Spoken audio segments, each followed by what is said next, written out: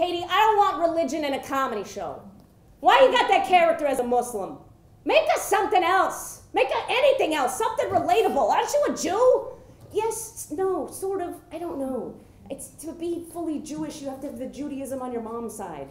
But my Judaism's on my dad's side, so I'm not technically Jewish. I'm just Jewish.